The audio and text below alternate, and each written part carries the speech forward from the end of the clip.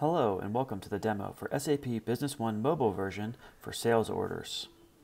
In the sales order module, we're able to view all open orders, any orders assigned to me, and all orders.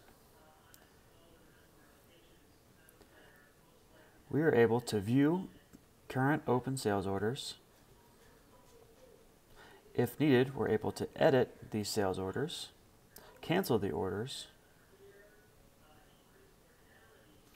and we're also able to view the contents of the order.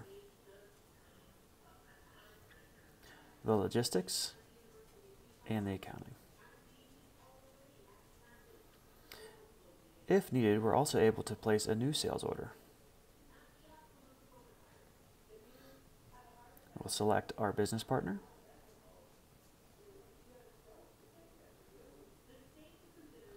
And we'll select our items.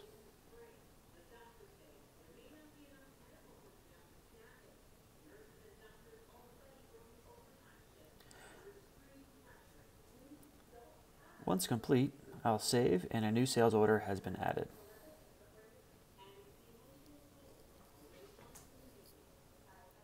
This concludes our short demo. As always, please reach out to us here at Support One with any of your Business One needs.